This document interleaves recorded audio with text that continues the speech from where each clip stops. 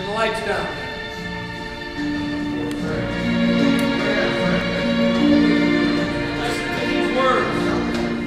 And uh, there used to be a ballpark where the field was warm and green. And uh, the people played their crazy game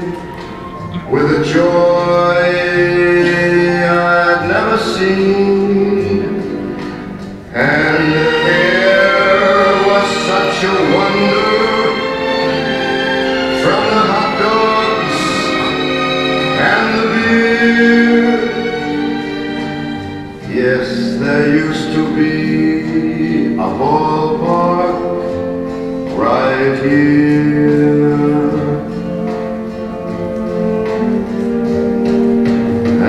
uh, there used to be rock candy and a great big fourth of July with the fireworks exploding all across the summer sky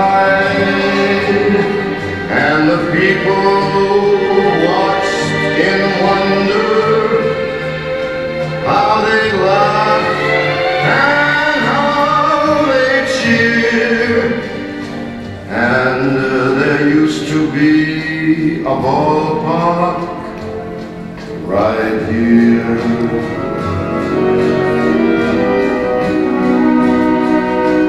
Now the children try to find it and they can't believe their eyes. Cause the old team just isn't playing. And the new team hardly tries. And the sky has got so cloudy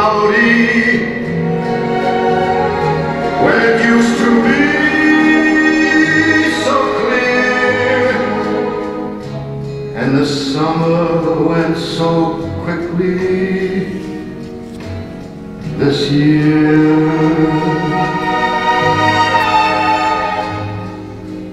Yes, there used to be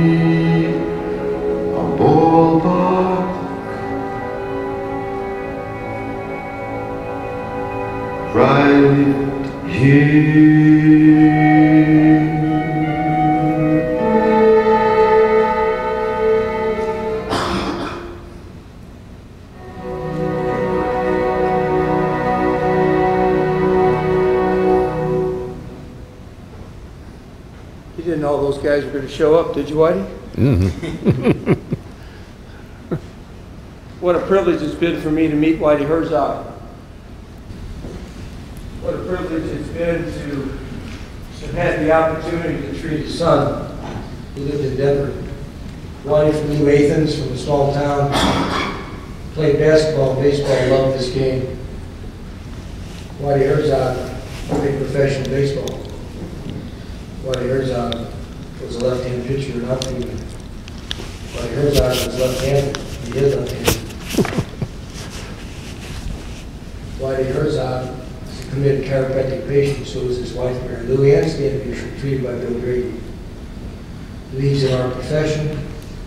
Whitey Herzog is the best manager the St. Louis Cardinals ever had. No one even close. No one even close, my opinion, and the opinion of of people in this world. I can assure you that. Last year, he missed going in the Hall of Fame by one vote. He'll be in this year, Whitey, you're more deserving. Whitey Herzog, in my opinion, probably one of the top 10, maybe top five managers in the history of the world baseball. He changed the St. Louis Cardinals.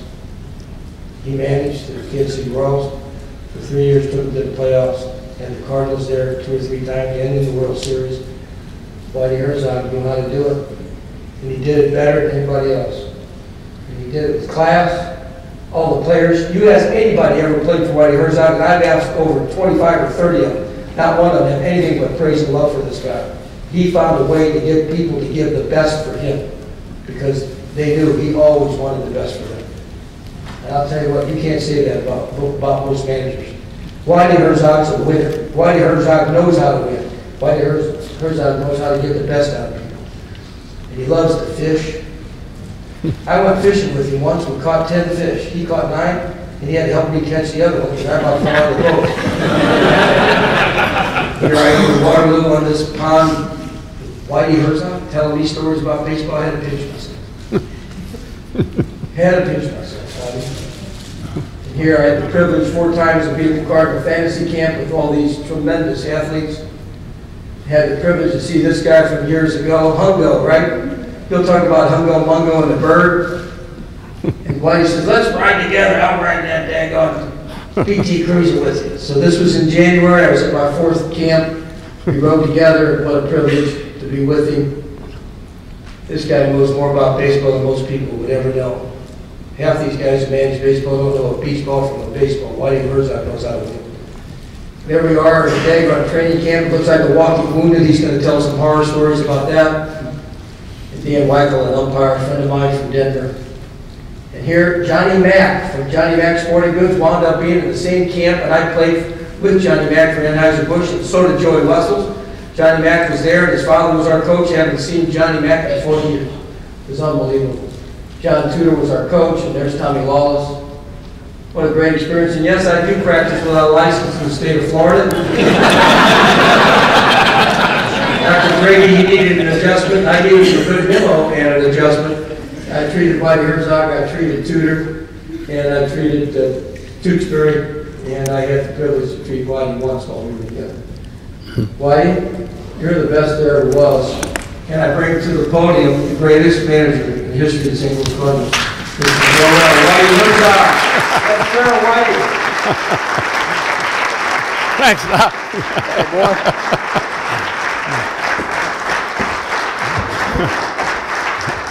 Thank you. Man, I should have had Doc for my press agent. Holy moly. You know, uh, I'm going to start back a little bit here. Uh, I met Dr. Yochum about, uh, I guess, Doc, it's been about 20 years ago. Uh, when you operated on my son's, uh, I got my son's figured, uh, finger operated on out in Denver. Jim, my son, was working for Keystone Ski Corporation, playing basketball, had a hand injury, didn't get it attended to, and about three years later, he got a stiff figure, and it was brought to Dr. Yochum's attention. He got one of the best hand specialists in uh, Denver, which was his namesake, also a Yoakum, and he got it done. So then I had Doc and Inga and the kids come up to Keystone, and we had dinner one night, and that's when I first met you. There's three people in my lifetime that I just can't believe how much they love baseball.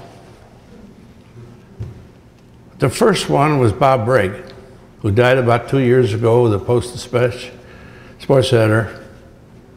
I never thought anybody could love baseball more than him. He was always so positive, and he never talked just about the old timers. He was with the modern day ball player. He just he just loved the game. And then when I left the Cardinals in 1990 and I went to California as the general manager for the California Angels, Gene Autry was the owner.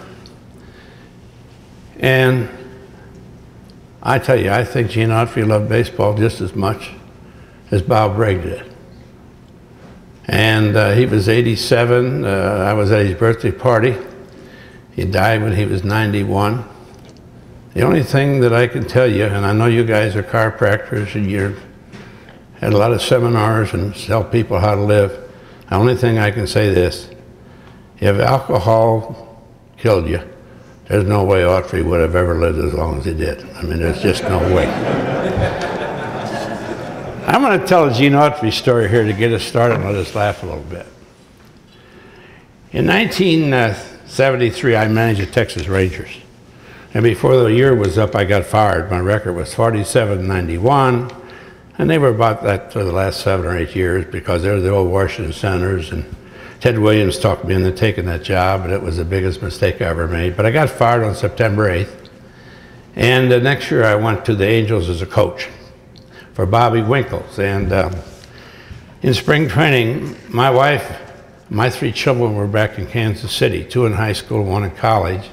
And she couldn't join me in Palm Springs for spring training, but she was going to join me in Anaheim in June. So I became very, very close with Gene Autry. All the other coaches had their families there in spring training, their wives, and I had nowhere to go. So every night, the cowboy said to me, here's the way he talked. He said, God darn it, Whitey. He said, when you're through with dinner, come on over to the bar. We'll have a few pops. well, every night in spring training, I went to the bar, the Gene Autry bar at the Gene Autry Hotel in Palm Springs, California, and we closed the bar. And I want to tell you, I mean, I had him singing Back in the Saddle again at 1 o'clock in the morning. You, you ought to should have heard some of them songs he was singing. But anyway, when the season started, I thought I was over with that. I thought now I can go home back to my hotel until Marilou comes in June. Sure enough, opening night, he comes in the clubhouse. Whitey, what are you doing there for the game? I said, I got nothing to do. I'm just going to go get a sandwich and go on home.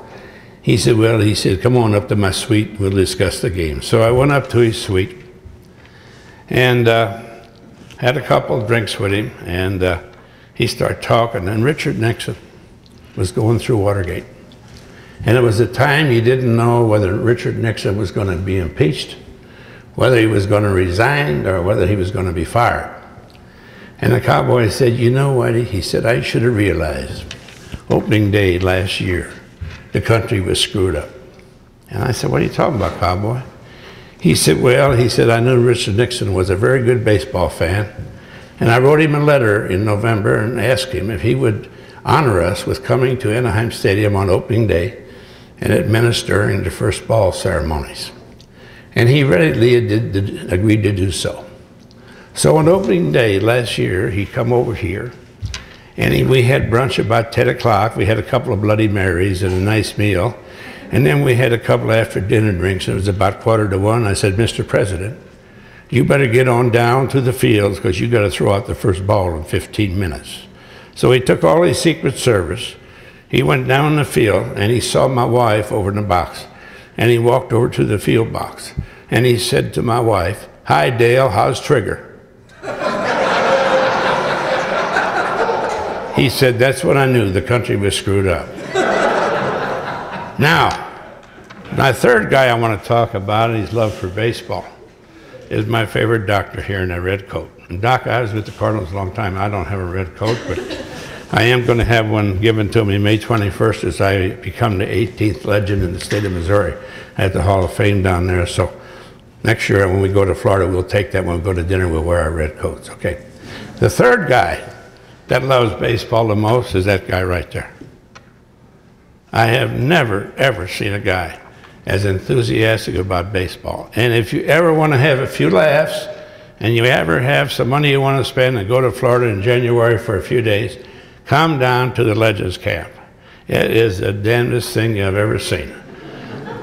I never realized, so I went to the Legends Camp, that baseball was that hard to play. I have sat I have sat on the bench with some of these guys and I'd say, Where'd you play ball at? He'd say, Little League. No, no, no. I said, Where'd you play high school, college? No, Little League. I said, well, How old are you? Oh, I'm 67. Really? You were nine years old last time you played? Yeah. Holy moly. Now, you saw that picture of him and his buddy in the, in the trainer's room with a picture of me. The second day, when you go into the trainer's room, it looks like an ice house. If you had a nice machine for a week down there, you could make a million dollars. I'm not kidding. But I want to tell you something. Them guys enjoy it because they enjoy coming at night and hitting us guys on the stage and asking us questions, and they just love it. They get signed what they want to get signed. And it's, it's just something that's great for the whole Cardinal organization. We get Lou Brock, Red Schoendienst. I think last year there was 22 of them there. 19 of them were ex, my ex-players that all played for me. So it's like a reunion for me. I really enjoy it. But can you imagine? These guys come out of Denver, they come out of the snow, they get off the airplane on Wednesday afternoon in Jupiter, Florida. We choose up the teams on Thursday morning, and we play a game Thursday afternoon. We play a doubleheader Friday, Friday. We play a doubleheader Saturday. That means those guys, not having touched a baseball or done anything, Play five games in three days. And I want to say, Dr. Yochum is very, very serious about winning. And he always says, I'm a winner. I get a kick out of watching this. He starts off down there and he can still throw strikes and he knows how to turn the ball over and slip a little slider in there. And the first game, he invariably pitches very well against a guy who's 20 years younger than him, and he'll either win it two to one or he'll lose it two to one. That's how good the game is. It's one of the well pitched games down there when Doc goes up his first game against some other team's best pitcher. The second game, when Doc goes out there the next morning, he's doing all this stuff and he can't quite get that shoulder up. So he don't have to pitch on Friday, but he's going to pitch one of the championship games on Saturday with one day's rest. After pitching seven innings at 60 years old, he's going to pitch on Saturday. Well, Doc never wins on Saturday. And, and a lot of times at the banquet on Saturday night, I think he's going to cry. I mean, he's got tears coming down there. But here's what Doc don't understand. The reason he pitches good the first game of the, of the camp is because these infielders and these outfielders can move. and the reason he pitches bad the last day of camp is because they can't move. And Doc don't strike people out. He gets ground balls. He's a sinker strike guy, and he makes them hit his pitch and nibble and so forth. And I'm telling you something. Last year, and he'll tell you this, his team was so bad. It took his outfielders so long to get to the outfield that I loaded them on a golf cart between innings and said, You play here, you play here, you play here.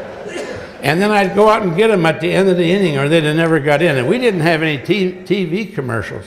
And we had to put a time limit of two hours and a half on a seven inning game. But that's not why you don't win that third game. It isn't you don't pitch as well. They just can't move. So don't get so damn disgusted when the camp is over. Come to the party with me on Saturday night. Have a good time, enjoy yourself, you know. There's a couple of guys that we're showing here.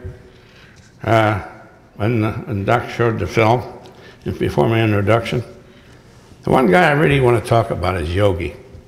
Uh, I played against Yogi for 10 years, and uh, I coached with him with the Mets. Uh, him and I are very good friends. I go to Montclair every year in June to his golf tournament. and He tries to come every September to my golf tournament at Forest Hills. And uh, when we were coaching for the Mets, I think we went out and ate every night. He wouldn't go out and eat with anybody but me because I was ex-American leaguer. And we'd have a day game, and he'd call me at 7 in the morning, what are we going to eat tonight? I said, Yogi, we'll talk about after the game. I'll meet you in the bar. We'll go meet. Okay.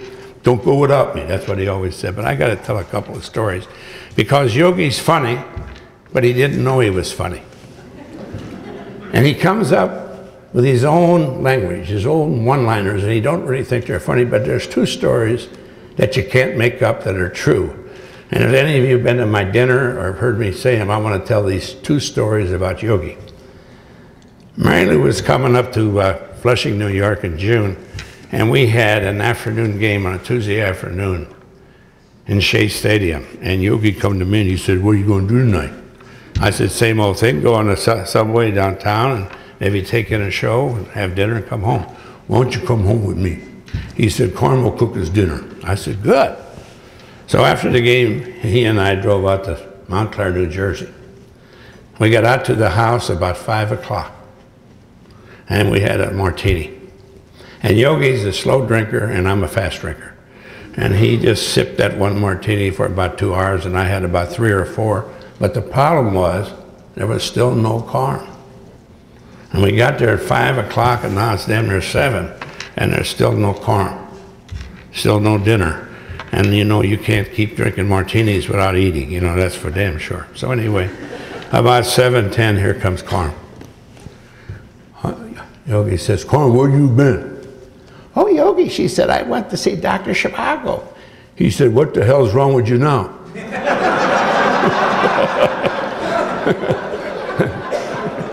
Now that's a true story, but I got to tell you my favorite story about you. I'm coaching third base for the Mets in 1966, and Yogi's the first base coach. And uh, in those days, we didn't have anything but a spigot of water coming out of the dugout. We didn't have a bathroom in the dugout.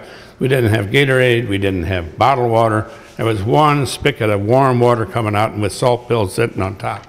And that's the only thing you ever had in your dugout. If you had to go to the bathroom, you had to go way up the ramp on top of the first deck, and they had the clubhouses up there. So I come in one day in the fifth inning, and I said, Yogi, I said, hold court for me. I said, I got to go to the bathroom. I'll be back as quick as I can. But come up and get me if you need me for anything. Okay. So anyway, I go up to the bathroom, and I'm coming down the ramp, down the steps, and here's Yogi standing like this. This way he always stood if you looked at the picture. I said, Yogi, I'm back. Everything okay? Boy, he said, you missed it. Missed it? Miss what? Oh, he said there was two streakers on the field. What? Two streakers? He said there was two streakers on the field. I said, what were they, men or women? Hell, he said, I don't know. They had sacks over their heads.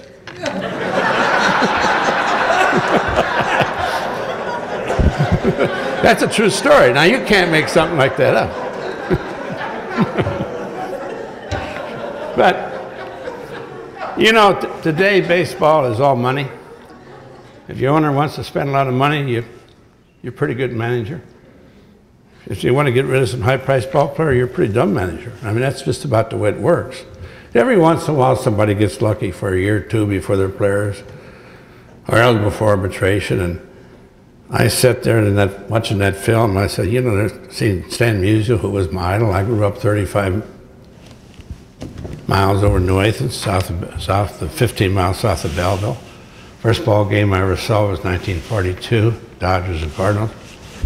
And then I got to know Red and Stan real well. And when I worked for the Mets and became a manager, I, I got to, I still go to lunch with, uh, with Stan at, at least once every two weeks. He's slipping pretty good. He's 88 now, but what a fine guy. And then I went hunting with Red, quail hunting with Red, three days before he left for Florida this spring, and he's 85, and he still can shoot the hell out of them wild birds. But not only were they great Cardinals, they're just great guys and great Hall of Famers, but they're, they're really something. I mean, they stand for what the Cardinal organization is.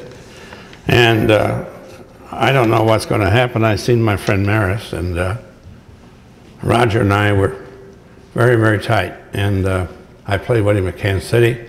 I lived two blocks from him, from years in Independence, Missouri. And uh, when I go to spring training and I run the Met organization, the minor league organization, he'd bring his boys down and I'd give them a field to play, play with my kids and some of the other guys, and they'd have a field all to themselves.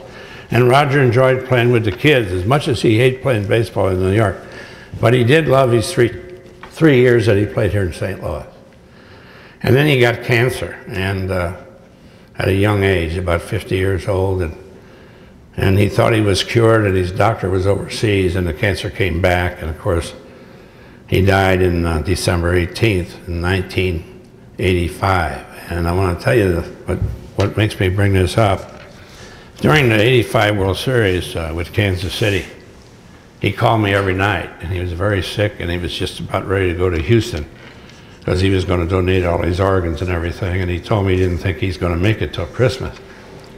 And uh, he called me every night, and the night before Denkinger's call, on the sixth game, we were up uh, three to two, and we had that one-run lead. Not talking about Denkinger or the call, but the th- last thing Roger Maris told me, and he said, "Your club ain't hitting beans." He said, "I." They just can't do nothing. And you know, when you look back, we hear about Kansas City winning the World Championship or Denkinger's call taking it away from us. What Roger Maris said was true. Now, we had only scored in seven World Series games 14 runs. And we could have won 14 runs scored in the sixth inning because we had the one nothing lead when we got the call. But that's how realistic and what a good student of baseball he was. And he wasn't the kind of guy that smiled. He wasn't the people's person. He wasn't the kind of guy that made up with you if you met him on the street. He might give you an autograph or he might be surly. But Roger Maris, if you were his friend, you had a friend.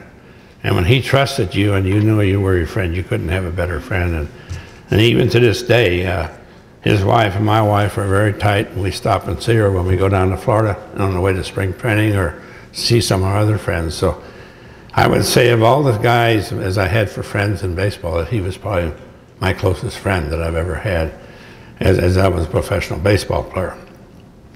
The other thing that I want to talk about is the fact that I was able to come here. In 1980, after uh, getting fired in Kansas City and uh, people never understood why I got fired. I'll be very honest. The owner didn't like me. And uh, the owner didn't like me because I was brash and I was young and I thought I knew every damn thing. And they never won anything in Kansas City and I stepped in there in 75. We were 15 games back and we ended up losing by five. We made up 10 games from July on. The next day, year we won the division, set an attendance record, and the next year we won the division again, lost in the ninth inning of the fifth game again to the Yankees, just like we did the year before. The next year we won the division and lost in the ninth inning of the fifth game again, just like we did before, and set another attendance record. And they never ever thought that they could. When I went there, they worried about drawing a million people, and when when I asked them if they would put me a fifty thousand dollar clause, which was big in those days, in my contract if we drew two million people, they did so, because they didn't think that we could draw two million people in Kansas City. As an example, when I came here to St. Louis, the Cardinals hadn't drawn 2 million people since 1968 when they won the second pennant and lost to Detroit. Well, they, they gave that to me, and then in the third year I was there, we drew 2 million people. And the fourth year, fifth year I was there, we drew, I mean, we drew set attendance records four years in a row, and they had to give me that bonus three years in a row, and uh, the owner didn't like that. And he came up to me one night and he really said, You didn't draw those people. You know, like, I said, Wait a minute. I'm not saying I drew the people, but you people never won anything till I come here. And I said, Now we won three division titles in a row. We're drawing two and a quarter million people. And you're worried about giving me $50,000 bonus? Well, the next year, we broke the all time rec attendance record again. And uh, I finished three games out of first place my pitching staff just collapsed on me. We had a 14 team league and I finished 13th in ERA. And we were 10 and a half games out at the All Star break and we got we were tied for first. We, we made up the 10 and a half games by September 3rd and we lost by three games and I got fired. So, you know, they always say things turn out for the best. And here was an owner that hated me, didn't like me. And I would say it was part of my fault, part his fault. But I came to St. Louis in June. And I'll never forget when they called me. I was down at Buddy Blattner's down in uh, Tan-Tar-A playing in a golf tournament. I had to speak at the dinner that night. And uh, uh, Lou Susman, executive director of Busch's estate, Gussie Busch's estate, called me and said, Gussie, you want to talk to me? And uh, don't tell anybody, he said, but uh, I want you in St. Louis at 8 o'clock tomorrow morning at Grant's Farm. I said, well, I can't leave here. I said, I got to speak tonight or people are going to wonder what's going on if I'm gone. And I said, have you told your manager yet what's going to happen? No, Kenny Boyer was the manager and he hadn't been notified that they were going to replace him. I said, well, I'm not coming in till he's notified. I'm not going to do that. Well, anyway, they called me back. Claiborne, the general manager, flew to Montreal to tell Kenny that morning. I drove in at 3 o'clock in the morning. I left Tan-Tar-A, came in here, stayed at the Clayton Inn, was out at Grant's Farm at 8 o'clock in the morning. Spilled my coffee on my lap. Talked to Gussie and Margaret, uh, his third wife, who was his secretary at the time. He later married her. And uh, they wanted to give me a one year contract because they had never given a manager a multi year contract. And that's the way everybody was in those days. But uh, I just said, Well, Mr. Busch, I said, I really enjoyed talking to you this morning. I'd love the opportunity to play for you. But I went through a one-year contract before in Kansas City, and when the owner wants to let you go, you got nothing. And I'll never work on a one-year contract anymore as a manager. And I said, I appreciate your time. I got up, going out the door. He said, whoa, come here. And Gussie Busch signed me to a three-year contract. And he said to me, and he kept this promise, he said, let me tell you something. You will never be on the last year of your contract as long as you're working for me. And all I want at my age is to win one more time. Well, I got took over the job in June. I uh, gave it to Red about the 1st of August. I wanted to go look at the AAA and AA club. And in 81, we had the best record when they took it away from us when they split the season. In 82, we won the World Championship, and seven years in a row, we set a attendance records. Well, Gussie told me when I signed that first contract, he only wanted to win one more time at the World Series celebration when Bowie Kuhn and Bob Costas are there handing him and I the trophy, the World Series trophy, Gussie said, we're pretty young, we ought to win again next year. but see, that's the way them owners are, because an owner is a very successful person. An owner is a person that is never satisfied. An athlete, a manager, or even anybody in business that runs that business, if you get self-satisfied, you're not going to be very successful. And that's the way Gussie Busch was. And all of a sudden, with all the trouble I had in Kansas City, everything just turned here in St. Louis. I found out after I was here about six months that I could call Gussie up at noon. He didn't get up till about noon, one o'clock. I'd tell him to make me a Braunschweiger sandwich and draw me a Michelob. I want to talk to him. And I'd go out and talk to him, and if there was anybody from the brewery there, he'd say, don't tell them a damn thing. He said, you and I'll talk when they leave. You know, he didn't want nobody to know what him and I was talking about. Well, the best thing about that was he didn't really know what I was talking about, even when I'm talking to him. I mentioned things I'm going to do. He'd say, do it, do it. Just let me know before it gets in the paper. And for 10 years, I was able to go in a meeting and sit down with another ball club, shake hands, make a deal, get out the room, call Gussie, and I said, we're going to announce this at 3 o'clock. He'd say, wonderful, wonderful.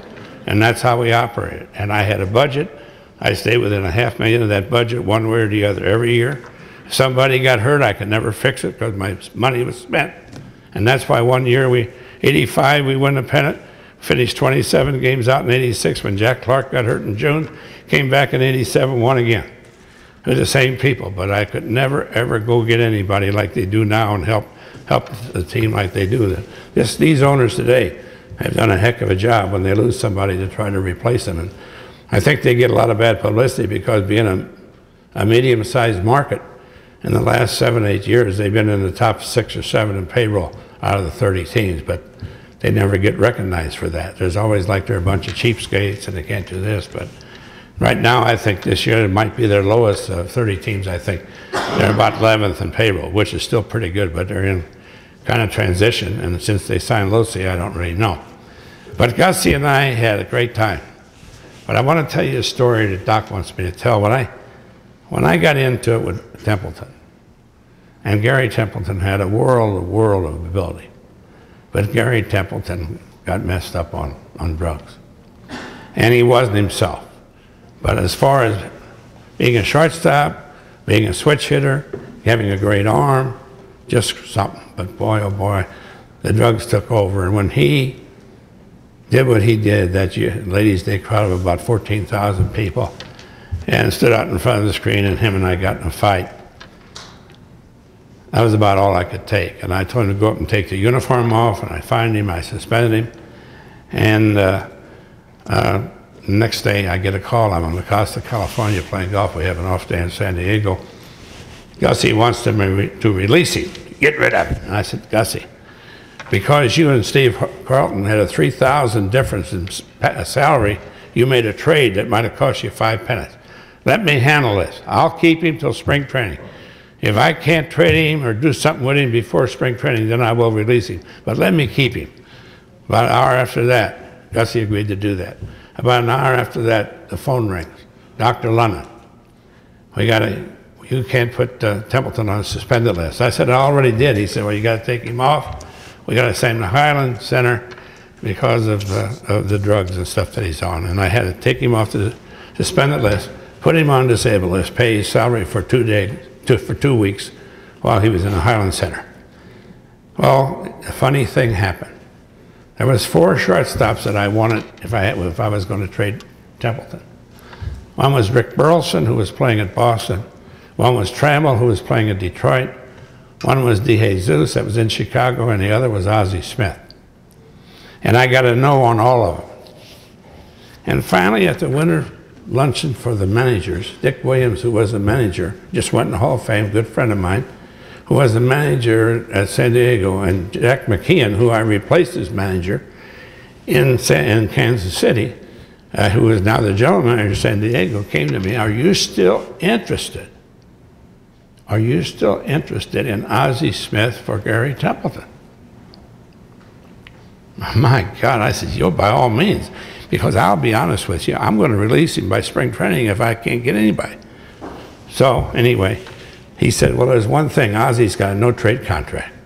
I said, no trade contract? He's only on a one-year contract. Nobody in baseball on a one-year contract's got a no-trade contract. Well, Ozzie has. McKeon was the general manager. I said, okay, let me, uh, let me see what I can do about that. So we made the trade. On December 26th, I get on an airplane the day after Christmas, fly to San Diego, meet Ozzie and his agent. And I tried to find out why uh, they wanted to get rid of him. Well, the McDonald people, Mr. and Mrs. Kroc, owned the San Diego Ball Club. And their son-in-law, by the name of Ballard Smith, was the general manager.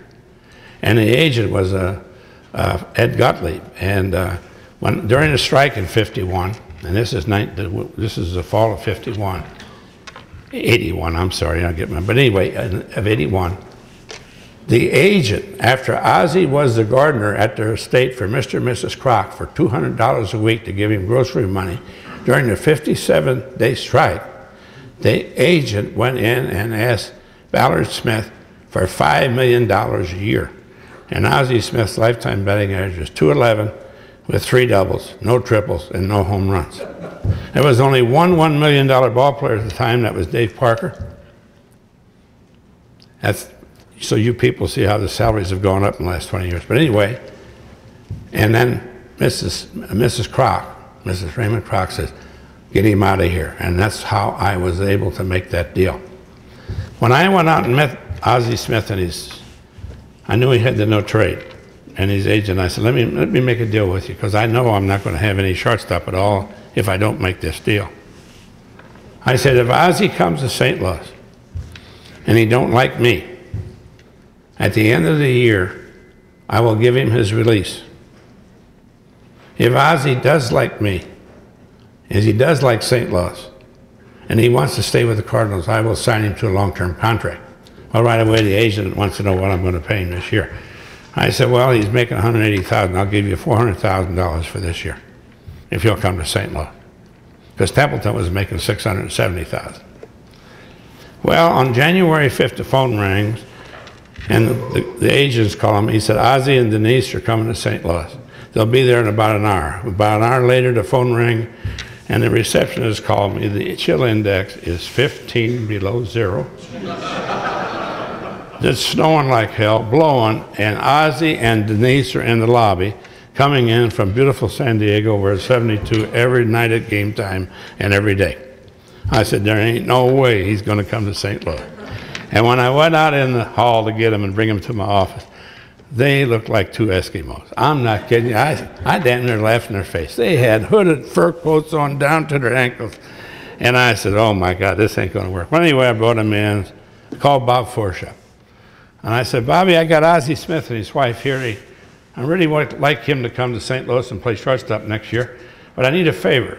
Take him out tonight. You and Molly take him out, take him out of town, get a couple of the other guys, show him the homes out in Chesterfield where you all live, and give him a good time. Just send me the bill. Whatever you spend, let me know. I'll take care of it. Well, they did. The next night, next morning, they flew back to San Diego. Two days later, the agent called and said, Ozzie's coming to St. Louis. Now, if I hadn't got on that airplane and flew out to San Diego and talked to him that particular day, we would never have made that deal. I'd probably never, you'd never be talking to me here in St. Louis because I'd have probably been fired the next year. But that's how things happen. And that's why when you have an opportunity to do something, you can't, you got to jump on it. You just have to jump on it. And I, I want to tell you something.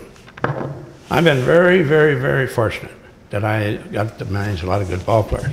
But more important, not only were they good ball players, they were good guys.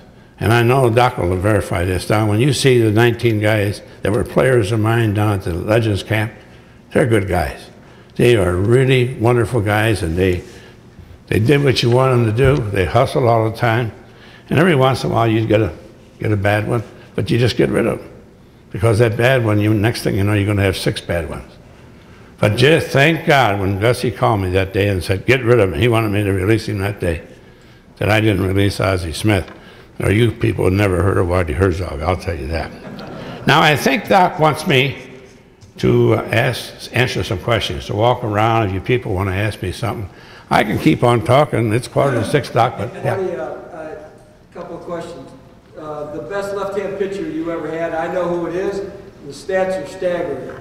John Tudor. Right. Tell, tell them what happened when you first got Tudor and the stats and, you know, that, uh, those nine shutout games. That story about Tudor is fantastic. Well, basically, uh, I always liked left-handers that were successful in Fenway Park because they got the green monster. And the Red Sox had two, uh, two young left-handers, uh, Hurst and, and Tudor, and I liked them very much when I was managing Kansas City. And then Tudor got traded to Pittsburgh, and Chuck Tanner was managing Pittsburgh, and he liked George Hendrick very much, and we kind of got to talking. And Tudor pitched one year at Pittsburgh, and got to talking, and I said I need a left-hander. And I, Tudor didn't have that good a year at Pittsburgh, and I was able to make that deal. I got Harper and Tudor uh, for Mr. Hendrick. And Mr. Hendrick got where he didn't want to play against Nolan Ryan. He didn't want to play against Bibby. He was had about six, seven pitchers in the league he didn't want to hit against. And how can you have a cleanup hitter that wants to set out 25 games because there's good pitchers pitching? You're going to have mutiny on the club. So we made that deal. Now Tudor starts off 1985 season one and seven, and Forsey went down with a bad back, and uh, Kepshire was not doing very well. I really only had three other starters, and uh, so I went to uh, Coxey and Andujar and Tudor, and I said, I want you guys to pitch every fourth day. I want to go to a four-man rotation in case there's another strike. The contract still hadn't been signed by the union. I don't want to get caught a half a game out of first place again. They agreed to do that. Tudor was one and seven. He finished the season 22 and eight, pitching on three days rest. Never lost a game to the seventh game of the World Series, and it wouldn't have been a seventh game of the World Series if Mr. Denkinger hadn't made that call. So you talk about putting something together. Now, what, what was John Tudor? John Tudor was a left-hand pitcher that could throw 86 miles an hour. John Tudor was a left-hand pitcher that never ever threw a curveball to a right-hand hitter.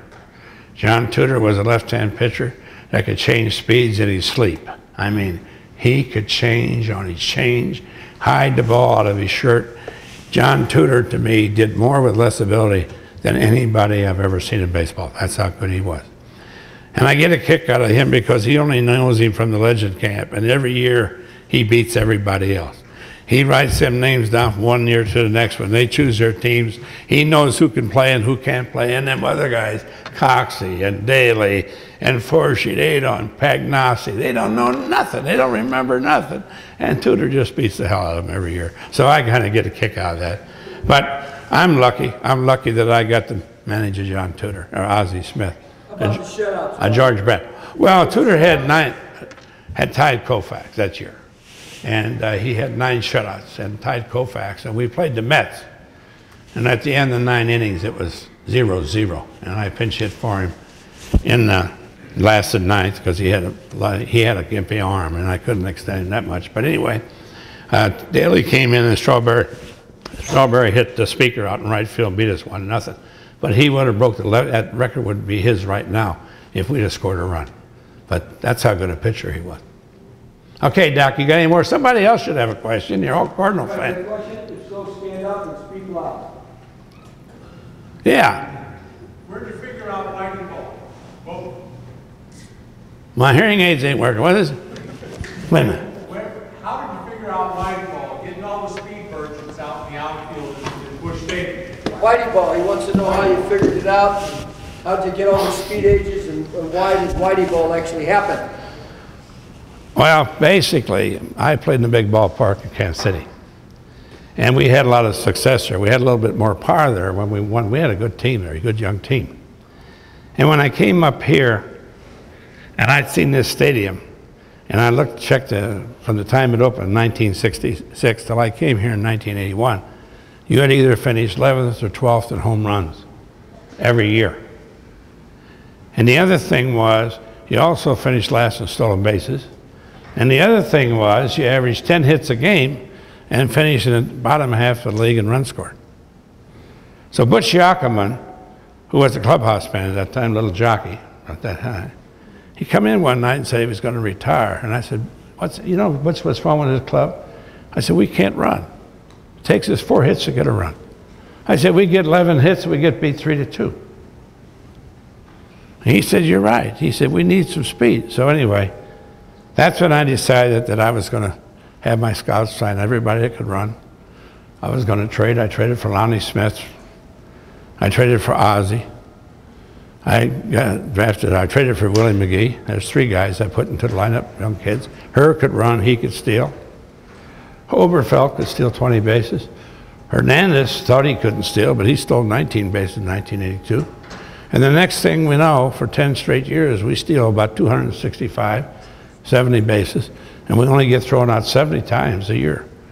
And actually, even after Coleman got here, the reason we got thrown out 70 times a year because a lot of that was on a hit and run. I'd send a hitter like on base like Porter and somebody swing and miss, and we'd lose them. But those guys were awful good at. it. We were good at Kansas City. We averaged 200 and about 30 stolen bases. But here in St. Louis, we averaged about 267 bases for 10 years I was here. One year we stole over 300, and we couldn't hit it very far.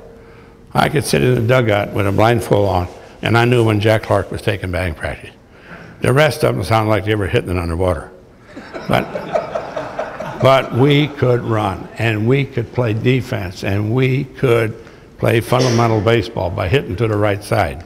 I don't know how some of those guys stole like they did. I, I remember a game in Montreal, and Coleman walked to lead off the game, and a kid by the name of Palmer was pitching. He threw to first base 19 times before he ever threw a ball to the plate. First inning, Coleman walks 19 times. He finally delivered a ball to the, and Coleman stole second base on a pitch out, standing up. now, if that's Whitey ball, then I'm a genius. But no, it's not that. It's speed, defense. It wasn't so much the AstroTurf. We had eight AstroTurf clubs out of 12 that, at that time. It was the dimensions of the ballpark. Because the West Coast infields are just as fast as the AstroTurfs were. I'm talking about San Diego, San Francisco, and and LA, the M infields were just as fast. But uh, the one thing that we could do, and we did this, I don't like to say we cheated because they'll make a big deal out of it. But when we had rainy weather, with the speed we had in the outfield, my outfielders would cut those balls off in the gaps, they'd get singles. When we hit one in the gap, we got triples, a lot of inside the park home run. We started a playoff game one year, and my outfield in that opening, that one playoff game had seven home runs total between them, and three, uh, four of them were inside the Parkers. So we had a lot of power, I want to tell you. And that's how they got the word Whitey Ball. It's, I don't know what the hell Whitey Ball is. Only thing I know, we won, we scored a lot of runs, and that's how we played. About Williams, the story about Williams, the umpire, is a classic story, right? When you went to the mound with, you know, that, that guy, you know, Williams, the umpire. You mean uh, Charlie Williams? Charlie Williams, yeah. You know when you went to the mound, remember? Yeah. Yeah, tell him that. Well, Charlie Williams was, a, was an umpire in the National League for 10 years I was here. And he was in the National League before I come here, and he was in the National League after I left here. And Charlie Williams was bad. He was a nice fella, really a nice fella, but he was a bad umpire. I mean, a pitch ball when he's behind the plate was the thrill. You never knew what the hell he's going to call it. It might be right there, right there. He called a ball. You never knew. And one night, uh, we got the bases loaded down in Houston. Jack Clark hit a ball into the stands that was 25 feet foul, and Charlie called it fair, home run. The other umpires came over, wanted to help me. He said, "No, I seen it all the way. It's good." So that was it. That's the only time I really liked it. But anyway, after watching Charlie Williams umpire for about two years, I uh, I went out there one day, and he was having a bad day. I, after about five pitches, I said, "Charlie, punch a hole in your mask. The game started for crying out loud. Let's go." so anyway, I finally go out there, and I, I said, "Charlie, come here." I said, "You know," I said, "I've been watching your act now for two years, and from this day on, I will never argue or question any call you make." I will never say anything to you. I'll never holler at you from the dugout or nothing. But before I leave here, I want to tell you one thing. Do you realize how damn lucky you are? You only got two guesses instead of three. Fair. He never talked to me again, but I never talked to him either. so, I mean, that's, that's, that's the way it was. Now, you know, I like the fact that they got the umpires. Now, work both leagues, and they're called Major League umpires, because I didn't like American League umpires, National League umpires, and I felt that maybe why we got a few bad calls in the World Series once in a while. But, you know, we have a shortage of baseball players, and the reason the salaries are where they're at is supply and demand. We don't have, when I signed as a 17-year-old, there were 16 major league clubs and 54 minor leagues. Now, there's 30 major league clubs and about 17 minor leagues. So you have a good year in rookie league, year in spring training with the big club. You know, it's, it's, it's a little bit different, a little bit easier. But we still don't have enough pitching. There isn't, I don't think there's one pitcher out of the 30 clubs in the big leagues that, when I look at it, that's really got 10 bona fide major league pitchers. It's, there's just not enough. And uh, I think it's gaining. I think we're getting more good arms again. And we keep talking about, about kids. Kids are bigger and stronger, but I think, Doc, what we're doing is in, starting with Little League, high school, high school, college, so forth. Even when we get them in the minor leagues, we baby them too much. They don't throw enough. While they want to stretch their arms out when they're maturing and so forth. You don't see kids on the sidewalk or on the street playing catch today. I have eight grandsons, nine grandchildren, eight grandsons, and my daughter was the first one. And all of them have played. I've got one playing pro ball in the, in the Philly organization. But, you know, it's tough to get kids to do anything on their own anymore. It's all got to be organized. Hey, the coach wants me to practice 5 o'clock. You know, you don't see him go out three on the side, play Indian ball. You don't see him playing mumble peg. You don't see him playing jacks. But you don't see him playing catch. I'm driving down the road in Independence, Missouri one day, and I saw two kids playing catch on the sidewalk. I stopped my car. I give, got two new baseballs out of my trunk and walked over and I gave them, told them who I was. And I said, I appreciate so much to see you two boys playing catch. And they were in awe because you don't see that. You tell them about your foundation? Tell these people about your foundation. Well, I have what, what do I call the Whitey Herzog Youth Foundation. And I have a golf tournament every year and a dinner at Forest Hills. And what I do is I try to help youth baseball by repairing or making high school, little league, college fields better, more safer to play. Or even build, I just got through building a Legion Field in Belleville, Illinois. We broke ground on one in Jackson, Missouri, uh, about three months ago, uh, Legion Field, because I think kids need places to play. If I get a high, letter from a high school coach, he needs some padding for his chain link fence, or he doesn't have enough protection around the golf, I'll go look at it. If I think I can help it and afford to do it, I'll get it done. Just get it done, send me the bill, I pay for it. That's what my foundation's about.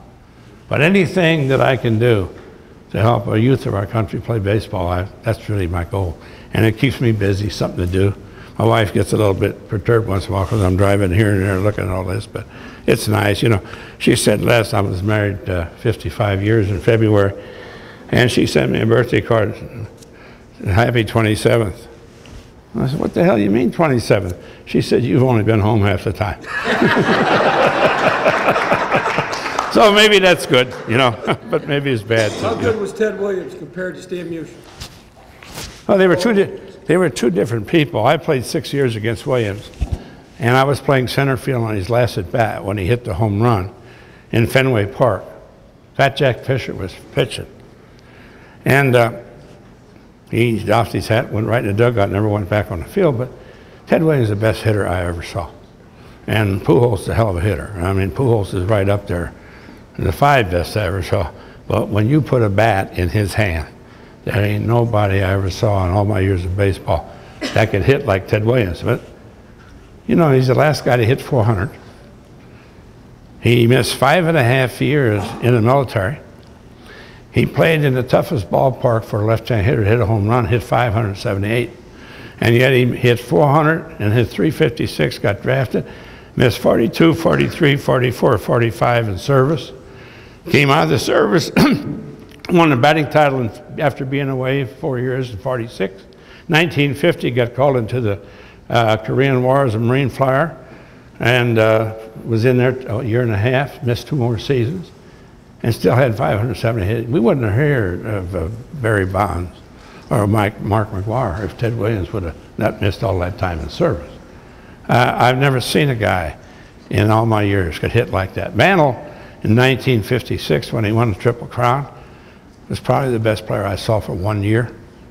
For one year, because he was the fastest, he was the strongest, the switch hitter, and a hell of a player, but he didn't take care of himself, and he could have, should have been a lot better. Musial, Musial, to me, if I was a manager, he's the kind of player I'd want. I'd even want him on my team over Ted Williams, because Ted Williams always, if he got a ball an inch off the plate, he wouldn't swing at it. Or if the game's on the line, Musial would go after it, try to drive in the winning run. But that's the way Ted was, you know, he, uh, he just wouldn't swing at a ball that wasn't a strike. And it got so bad, though, you know, they'd always, he'd be the old umpire. They'd never call him out. They could throw two, poo- three, two pitched on a pipe, and they'd say ball four. One day we were playing in Boston, and I'm, I've got four walks. I'm leading off. I got four walks, and I'm up in the ninth inning, and no one's ever walked five times in the major leagues in a nine inning game. But unless, I mean, without an intentional walk. And they sure as hell weren't going to intentionally walk me. I get up in the ninth inning, three and two, and Tom Brewer throws a curveball that bounces. And Charlie Berry calls me out. I said, Charlie, you know what's wrong with you? I said, I've been watching you all day. You give Williams five strikes every time he hits, and I get two. It should be the other way. I should get the five, he should get the two. Oh. but you know, I used to tell umpires a lot of things. I had a one umpire one time in Kansas City. Hitter fouled the ball off. Darrell Porter was catching. He called it a ball, and I ain't allowed to. I ain't allowed to argue a ball or a strike. I get kicked out automatically if I do that. So I go out to Darrell Porter and I said, Darrell, didn't he foul that ball? He, in his Oklahoma drawl, he said, by God, Roddy, he said, I think he did.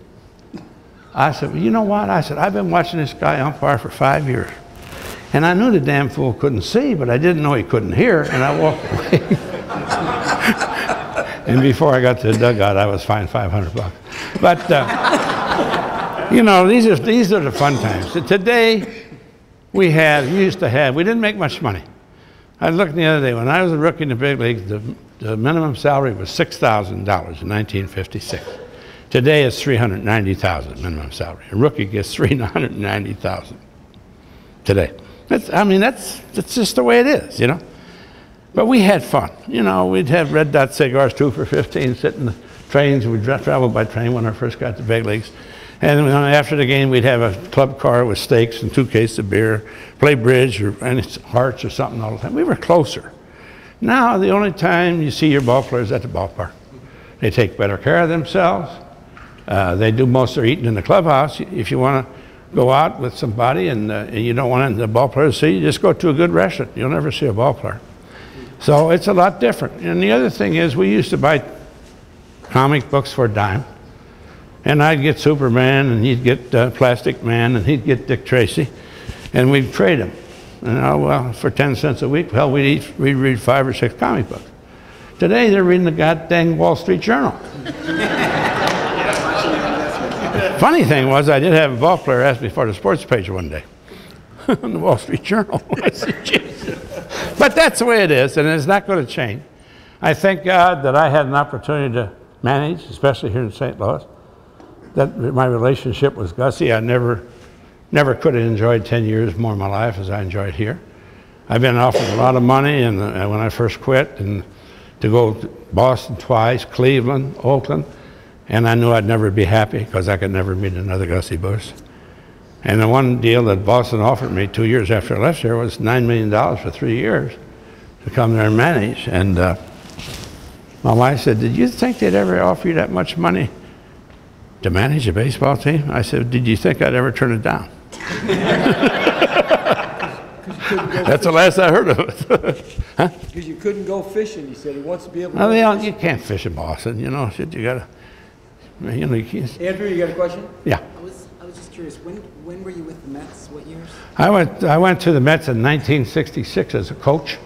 Bing Devine brought me over there. And, uh, you know, uh, How many years was it? I was there, and then I, I stayed with him until 1973. I run their minor leagues. So I was at that, that game in '69 when Tom Seaver struck out 19. Mm-hmm. And, uh, uh, you know, I'm talking about, I got to say something about Stengel. Stengel used to like for me when I came to New York and I was the head of the minor leagues to sit on the bench with him when he was managing because he, he had his own language and him and I, I could understand him because I'd been to spring training with him twice. And I'd go there, sit on the bench, and uh, they were bad. I mean, you talk about bad teams in the history of baseball. Them Mets were the worst team that was ever assembled, that first expansion club, and yet we were the first expansion club to ever win a World Series. I mean, real expansion club. Well, anyway, to make to make a long story short, one day we had a meeting that morning, and I sat in the meeting with Yogi, the coaches, the general manager, and the farm director, and the scouting director. And we sent some players out, brought some players up, and the game started. And the starting pitcher gives up five runs. Casey goes over to the phone. Get hung up. The bullpen coach said, You sent him out this morning, Case. Bring him back, he said. That's the first thing he said. Now the game keeps going. When we get to the fifth inning, and Casey goes to the phone, he said, Get Miller up. Now, this guy's in the Hall of Fame as a manager, so you know how, how important we are, right? He said, Get Miller up. Guy calls back. Casey, which one do you want? We had two Millers, a right-hander and a left and a left-hander. He said, "Which one do you want?" You know what Casey told him? Surprise me. Surprise! That's what he told him. I said, "He's in the Hall of Fame as a manager." so you see, Doc, what it's all about. Oh, God. But You I- had a question? I I was, I was always curious to know more about your decision to leave and uh, what, what all was going through your mind at the What? time. When when you left the Cardinals. Well, basically, Gussie had died, and uh, and uh, and I knew that everything was changing, and uh, I was general manager manager, and I always stayed within a budget, and I always made all the uh, deals, and uh, and I ha- handled everything except the arbitration ca- cases, and all of a sudden now Gussie's uh, he passed away, and. Uh, I got to ask the Bureau if I could spend fifty thousand dollars where I'd been negotiating million dollar contracts, and I just didn't think I was going to enjoy that anymore. And I just told my wife, I said, you know, I've been here ten years. I've had a hell of a time. I really don't think they want me around, and I think it'd be good for me and the ball club has made a change. So that's basically what it was. But Gussie was alive, I would never, never done that because I told him I'd manage clubs as long as he wanted me to. The problem was, Gussie told me I had a lifetime contract, but I didn't realize it was his life. Question in the back, say loud. Yeah, being you managed in both leagues, and if, if you, you, the man that makes, gonna make the decision, you get rid of, uh, the uh, designated hitter in both leagues, or make both leagues the same, and the uniforms, like you're wearing yours there? Go back to that? and- Oh, and you mean the pants down to the bottom of their heels? Yeah. Yeah. Would you get rid of that? Well, the only way you can get rid of that if it comes from the commissioner's office. A, a club cannot do it because if, if, just like Cincinnati tried to go with black shoes when everybody else was wearing colored shoes, and all of a sudden they found out they couldn't sign a free agent. So they had to go along with everybody. That's just how touchy this stuff is today. They're talking about cutting the hair now in football, where you can read the player's name on his back. Yeah, that's going to be tough. Now, I'm going to answer your question. The one thing that baseball should do, whichever way it is, they ought to have the same rules in the major leagues. You shouldn't have a designated hitter in one league and a pitcher hitting in the other league. And they'll never get the owners to agree on it because the American League owners say a good time to go to the bathroom is when the pitcher's coming up. So they'll never get rid of it. Secondly, they can't get rid of the DH's salary. They got guys DHing that don't have a glove. So you couldn't just say, 2009, we're going to eliminate the DH and go with the pitcher hitting in the 32 leagues. But you could do this. Since you're never going to get the owners to agree on it, I would say take every manager, when this DH started in 1973, take every manager that has managed in both leagues, the National League and the American League, at least one year in both leagues, and let us vote on it. And the owners don't have a damn thing to say. I don't know if there'll be 100 of us or there'll be 150. I don't know how. They all vote. Let us vote on it. However it comes out, all 30 teams are going to play by that rule. Because you can't have interleague play and have different rules, even in the World Series. It's a joke. When American League comes in here to a National League city and loses their DH or has to put, take the first baseman ahead and put the big guy in too bad. But the thing is, you got to have the rules the same. It's the major leagues. The rules should be the same. I would vote to have the pitcher hitting. I don't think there's any second guessing with the DH. And why I say that, you don't have to make double switches. You don't have to worry about your best bullpen guy coming to bat in the ninth inning. Because if you, if you got a two-run lead in the eighth inning, you bring him in, you get beat, oh, Whitey went with his best. That's, that's the DH. There's no manager with the DH. But, Doc, you do have to know their deliveries. You, know have, you have to know their weak points. You do have to know when they're getting up and so forth. Every pitcher has a weak point, and you got to know when that is, you know. Who's the best, who's the best pitcher you ever faced? Oh. Left-handed and right-handed? Well, let, let me tell you, the best one I ever faced, The best one you ever faced? man, I'll tell you, every one of them was pretty good. Why the hell didn't you ask me who I could hit? I could have told you that like that. But anyway, I've seen a lot of good pitchers. I, you know, when I first came to the big leagues, I, I had a 15-game hitting streak my rookie year, and we go to Cleveland. And they had Wynn, Lemon, Garcia, and Feller as their four starters. And everybody said, you, you get through there without going one for 16. And I hit, I got a hit in all the games. I had a 19-game hitting streak going into Detroit on a Monday afternoon. And Billy Hoeft, the young left-hander, pitched for Detroit. he struck me out four times, times on 13 pitches. And I fouled one ball off, you know. So that was the end of actually my 19-game hitting streak. But when I look back at what pitchers I saw who were the best, I saw Feller when he was past his prime.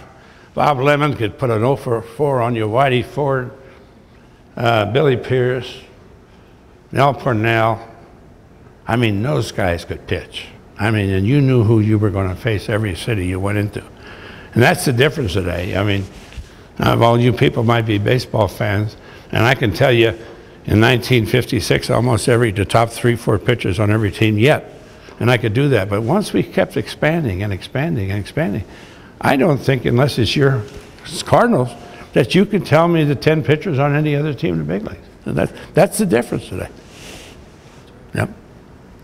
Yeah. Can I ask about Pete Rose? Do you think he'll ever get the Hall of Fame, do you think he should? Pete Rose, you think he's gonna get in the Hall of Fame? You think he should? There will be a, uh, there will be a commissioner that succeeds Selig and that wants to become popular commissioner, and he'll put Rose in the Hall of Fame.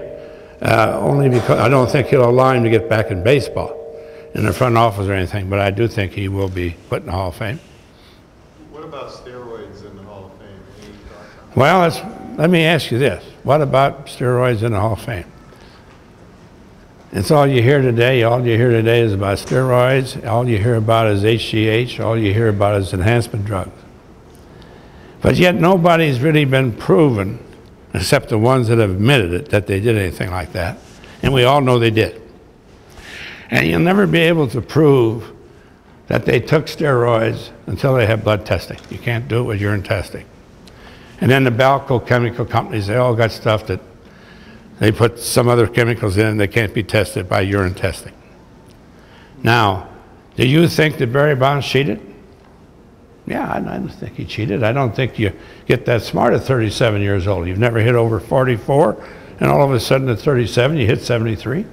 There's something happened there. There's something wrong, you know. Uh, I don't know. McGwire came up, hit 49 home runs as a rookie. Never hit over 34 again until he got to St. Louis, and then hit 56, and next year hit 70. Sosa was five foot nine, 165. When I played against him in Texas, all of a sudden he's 190, muscle bound, can't bend over to pick up a ground ball. He breaks Maris's record three years in a row. You think something happened? You're damn right it happened. But there's a lot of little guys that hit 15 home runs that never could hit five. Now, when steroids got into baseball, they were not illegal. And how baseball got into baseball was we had a lot of multi-purpose stadiums. I'm talking about everybody that had a football team and a baseball team. Pittsburgh, Baltimore, Oakland, Cincinnati, St. Louis.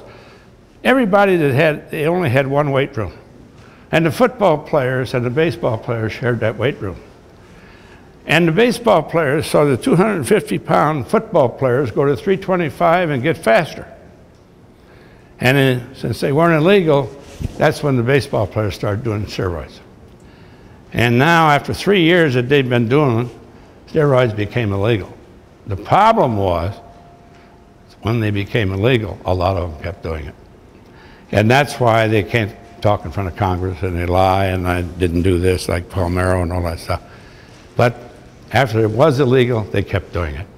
And those are the guys that are going to, what can you do about it?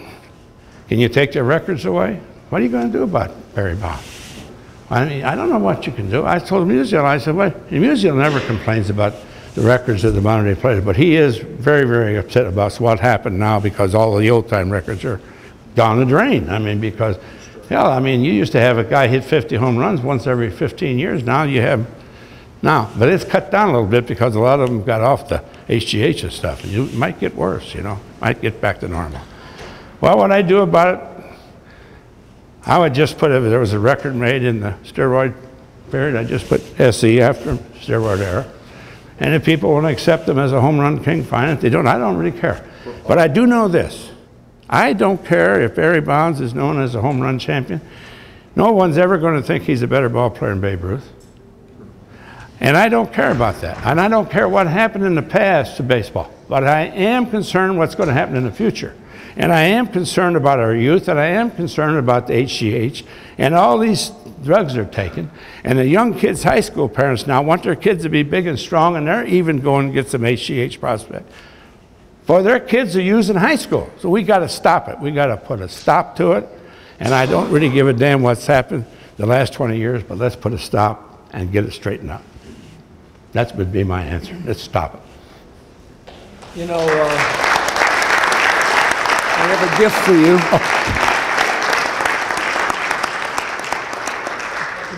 Don't you like a man who says what he means and means what he says?